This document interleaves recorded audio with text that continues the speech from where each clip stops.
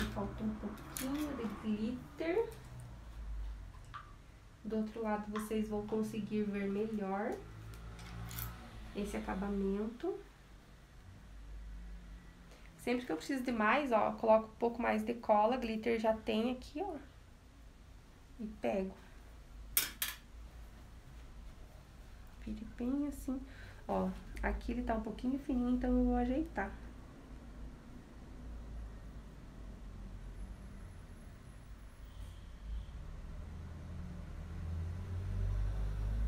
Uhum, ó. Agora, vou para o outro lado. Agora vocês vão conseguir visualizar bem.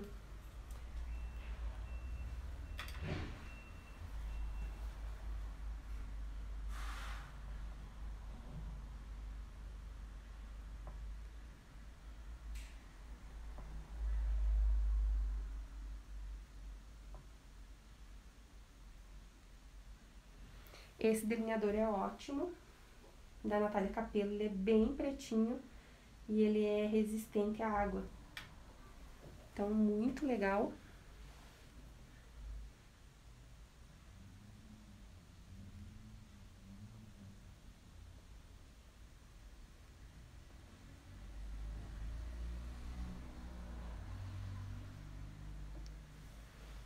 Ó, dei o acabamento. Não pode abrir os olhos.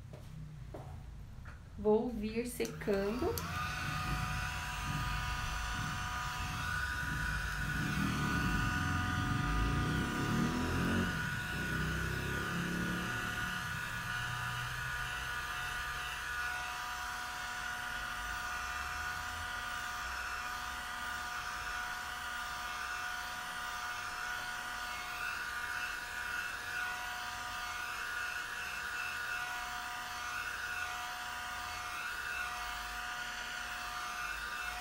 E aqui, enquanto seca, eu vou fazer a boca.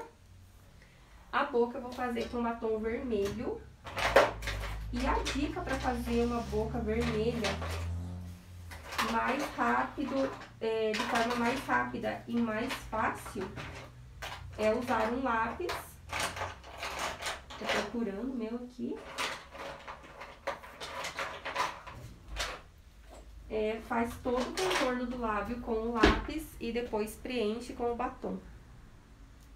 Sempre aponta o lápis, né, pra tirar o que tava ali, que às vezes estava em contato com a boca de outra cliente. Então, ó, esse lápis meu aqui da Eudora, eu vou vir e vou contornar o lábio dela.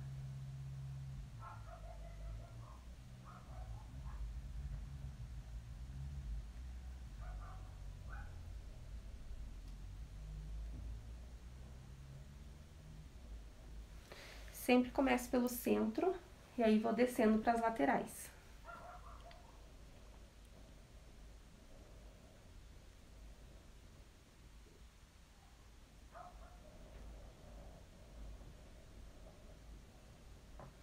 Quando eu faço batom é, boca vermelha, eu não aumento os lábios, porque geralmente elas já estranham um pouco o batom mais escuro, e aí se você aumenta muito a boca, aí que elas vão estranhar ainda mais, vão olhar no espelho e às vezes pode ser que ela não se goste. Já aconteceu comigo uma vez, de uma cliente, uma formanda, com o lábio bem fininho, ela chegou pra mim e falou assim, eu quero um batom vermelho e quero que você aumente meus lábios. É minha formatura, eu quero, né, tudo que eu tenho direito. E eu não tinha feito teste nem nada. Eu falei, olha, mas a probabilidade de você não se gostar é muito grande. E eu sabia já da dificuldade que é depois você retirar um batom vermelho, né? Mas ela insistiu e eu fiz. Resumindo, ela não gostou. Ela levantou, olhou no espelho e falou: Meu Deus, minha boca tá horrorosa. Claro, imagine uma pessoa que tem um lábio bem fininho. Aplica um batom vermelho e ainda por fora para aumentar. Aí se vira nos 30 para tirar tudo aquilo, né? Aí tive que tirar, não teve outro jeito. Ó, vim por trás da cabeça dela pra fazer esse contorno aqui da parte inferior dos lábios.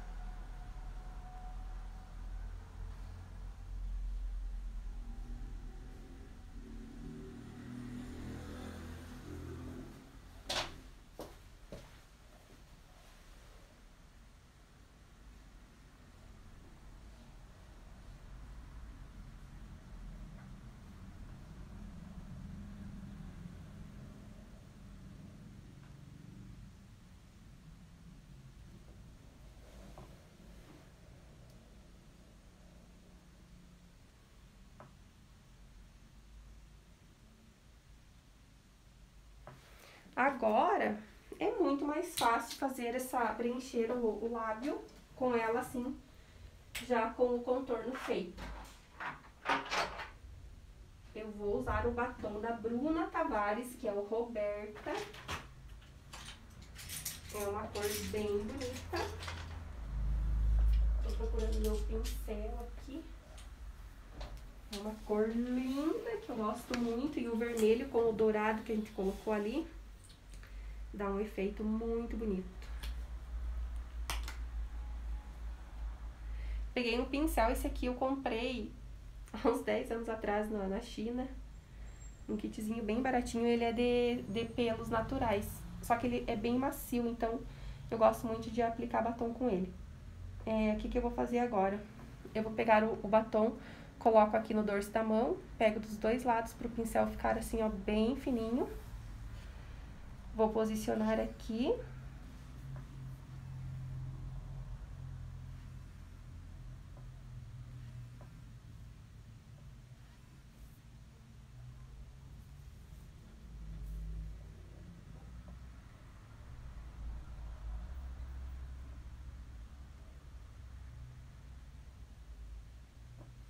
Fiz o centro, pego o batom dos dois lados do pincel Vou, ó, ver, ver se o dedo tá limpinho. Vou apoiar aqui pra saltar um pouquinho aqui o lábio dela.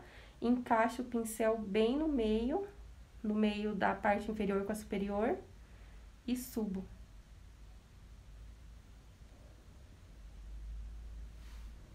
Fazer a mesma coisa do outro lado.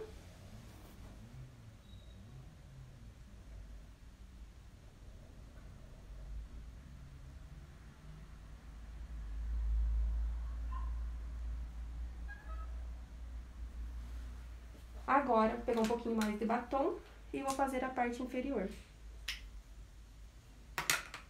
Vou vir aqui nesse ladinho que eu venho por frente, encaixo o pincel e vou levando pro centro.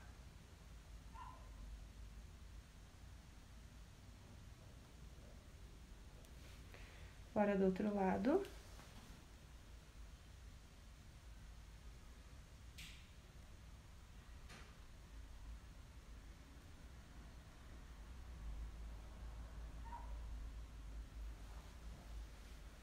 Agora eu vou por trás da cabeça.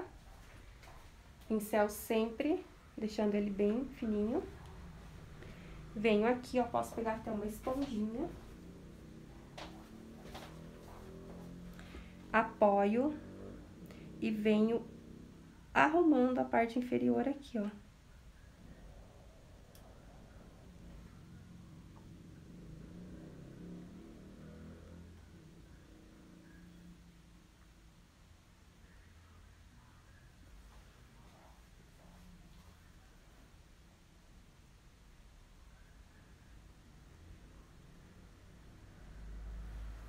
Pronto.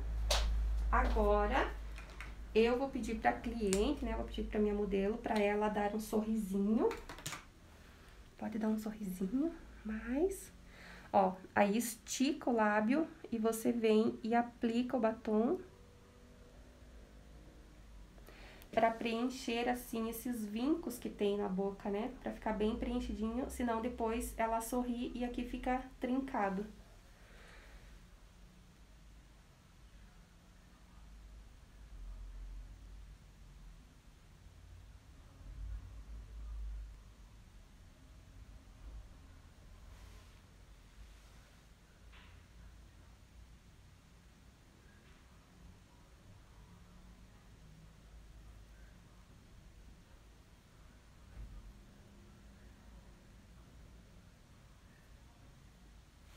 Ó, prontinho.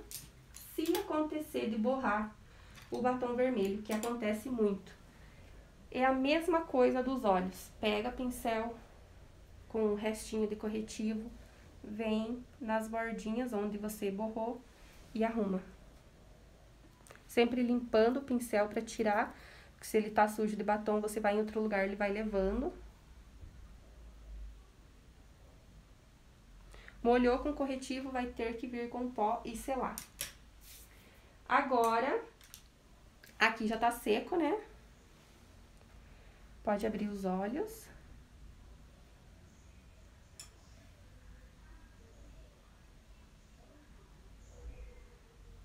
É um cílio gigante, quase que tapa a maquiagem, né, dos olhos.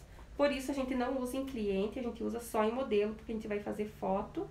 Mas em cliente, você usa uns cílios mais básico, que aí vai ficar lindíssimo e não vai esconder a técnica. Então, agora, eu vou pegar um pouquinho de cola aqui, ó, com o cabinho do pincel, que eu vi que soltou aqui um pouquinho. E vou vir aqui e vou colar. Enquanto cola, eu vou fazer a parte do esfumado inferior dos olhos dela. E agora que tá o negócio, né? Você começa já a rezar para que ela não comece a lacrimejar e dar ruim ali no esfumado. Eu sempre gosto de usar pincelzinho assim, pequenininho. Esse é da Esfumato S24. É, eu vou vir com essa sombra marrom aqui. Você precisa posicionar a tua mão, pedir para ela olhar bem para cima.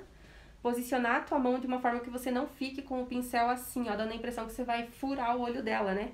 Então, se vem com a mão assim, encaixa aqui, apoia e sai ali do pontinho que você marcou do delineado. Ó, vem pegando sombra aos pouquinhos, movimentos de vai e vem um do ladinho do outro.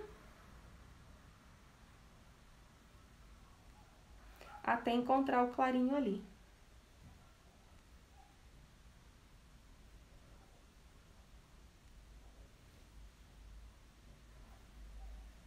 Mesma coisa do outro lado.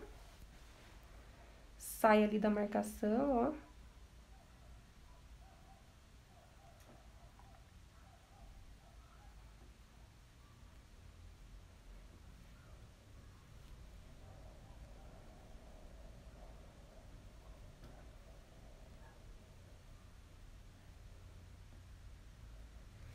Agora, o mesmo pincel, vou vir na sombra bem escura. Nós não usamos ela na parte superior, mas aqui a gente vai usar nesse cantinho aqui, ó, pra dar acabamento aqui pro delineado. Agora, eu venho com essa escura só até a metadezinha aqui, ó. Pra ficar um degradê da escura pra clara. Mesma coisa do outro lado.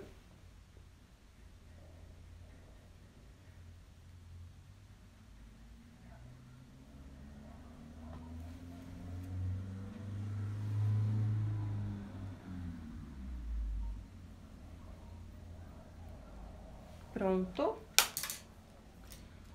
Agora, eu vou pegar um pincel bem pequenininho de esfumar.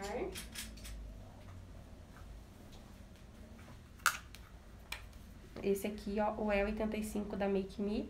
E vou vir naquela sombra mais clarinha, olhe bem pra cima. Quando você pede pra olhar bem pra cima, essa pálpebra inferior, ela salta, ó. Então, a gente consegue encaixar melhor aqui pra esfumar essas bordinhas. Só uma leve esfumadinha aqui, só pra dar acabamento. O outro.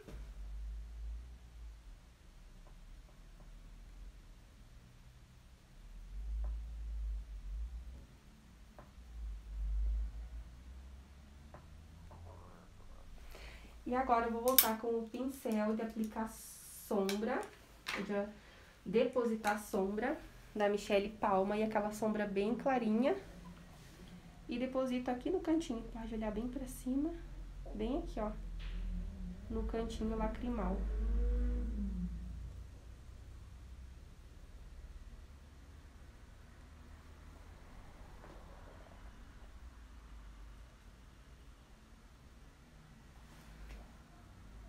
A linha d'água, a gente pode deixar é, sem nada, ou aplicar o delineador preto, ou aplicar um, um corretivo. Eu gosto muito de usar esse corretivo Snow também, da Maquia, na linha d'água.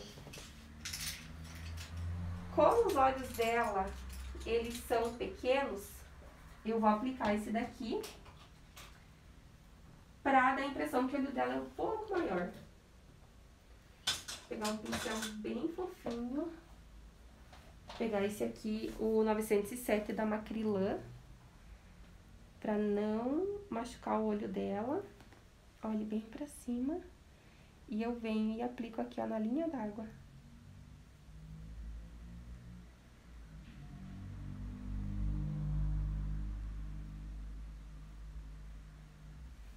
Assim. Agora do outro lado.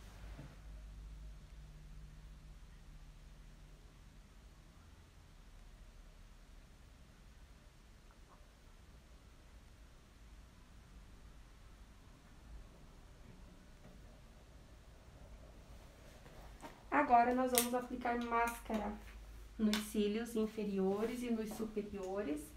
E eu sempre uso máscara à prova d'água. Então, eu vou aplicar em cima, olha pra baixo, coloco meu dedo aqui, ó, puxo, e aí eu venho e vou juntando, ui, o cílio dela natural aos postiços pra limpar, porque às vezes fica com sujeirinha, né? De pó, alguma coisa. Mesma coisa do outro lado.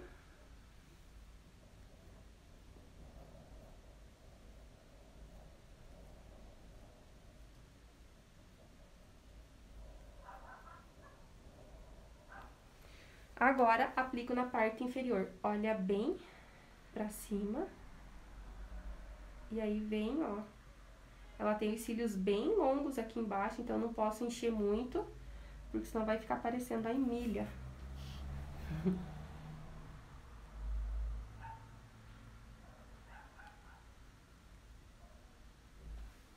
Isto.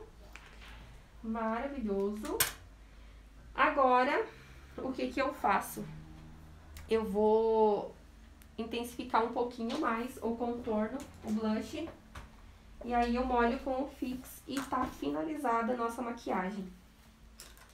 Então, ó, pincel F24 da Makeup, venho aqui, reaplico, porque a gente acaba tocando muito na pele, acaba saindo um pouquinho. Vira pra mim aqui.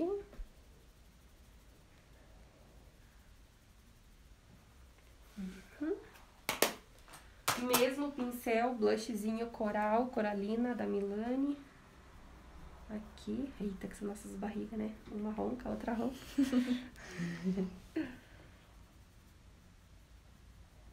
Bem na maçãzinha.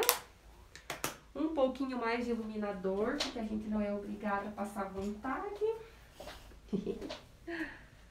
Venho aqui.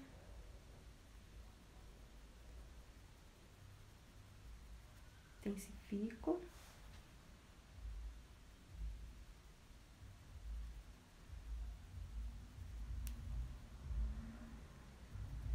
Lembrando que a única coisa que eu não faria aqui, se fosse a minha cliente real, assim, para uma ocasião, que ela pedisse a maquiagem, é os cílios. Eu colocaria uns cílios que fosse mais leve, né, não tão pesado, porque isso aqui acaba escondendo boa parte da técnica. Mas, como eu já expliquei para vocês, pode fechar os olhos. Ó, na foto, ele vai me dar um efeito, vai chamar mais atenção na foto, um cílios cheio assim, do que um cílio mais basiquinho, né? Mas depois eu vou mostrar para vocês ainda os cílios que eu gosto, que eu indico para clientes e também a diferença, que, o efeito que eles dão na maquiagem quando é para uma cliente e quando é para uma modelo. A Claisla, ela é minha cliente, né, Claisla? ela fez maquiagem de formatura comigo, então ela é minha cliente e eu quis trazer assim para vocês. Hoje ela tá de minha modelo, né? Ela agora também quer vir mais de minha modelo. Mas ela começou vindo como minha cliente. Então eu trouxe para vocês algo bem real, uma maquiagem bem real para vocês aprenderem, já que vocês estão iniciando aí nessa carreira maravilhosa. Vou finalizar então usando o meu fix, né, minha bruma. Agora não precisa molhar tanto a pele, né? A gente já molhou aquela hora bastante pra... Agora é mais só pra finalizar, porque a gente voltou com pó, né? Voltou com o contorno, iluminador, blush. Então, só pra dar uma sentada em tudo isso. Ó, o olho dela, se vocês perceberem que vocês... É, terminei a maquiagem, tem alguma coisa que tá trincadinho, craqueladinho, você pode vir com o fix, borrifar numa pálpebra, na outra e vir com a sombra novamente. Isso acontece às vezes porque vai ressecando, a gente coloca muito produto, vai colocando produto, produto, vai ressecando. Então hidrata, volta com a sombra, hidrata, finaliza.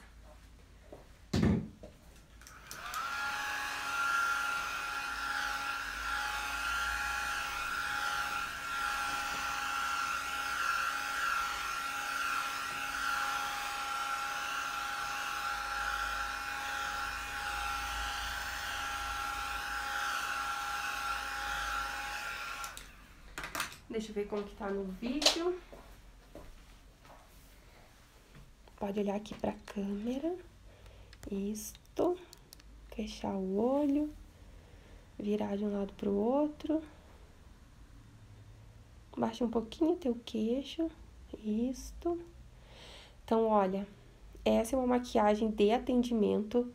Uma maquiagem que eu levo em média uma hora pra fazer, né? É bem tranquilo, vocês viram, assim com produtos acessíveis e só, como eu falei para vocês, não colocaria esse cílio tão extravagante numa cliente, mas de resto eu faria exatamente da forma que eu fiz e ensinei para vocês. Então espero que vocês tenham gostado de mais essa videoaula e nos vemos em breve na próxima. Tchau!